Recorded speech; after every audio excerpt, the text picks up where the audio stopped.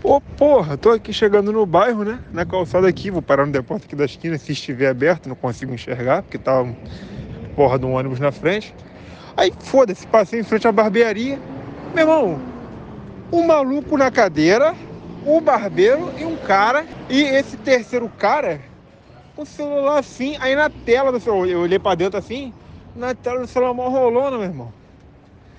Caralho, que porra é essa? Não, tipo assim, eu, eu tava com fone de ouvido, até tirei, né? Olhei, eu olhei rapidinho, né? Falei assim, falei, caralho, tomou um susto, né? Aí eu tirei o fone.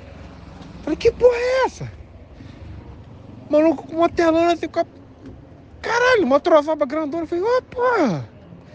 Tomei um... Aí, Paulette, me explica essa porra.